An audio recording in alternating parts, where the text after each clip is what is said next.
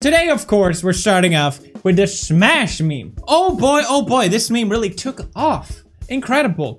Well, you know, everyone that invested in this meme, sell, sell, sell. This meme has officially reached its peak. It's not going any further. Trust me on this one.